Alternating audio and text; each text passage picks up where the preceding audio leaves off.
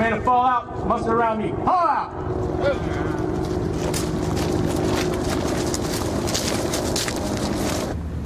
And when I first came here as secretary in uh, late December 2006, What obstacles do you face and when do you start to the?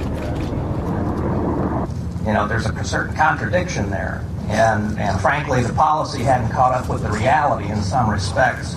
really eased up the pressure on uh,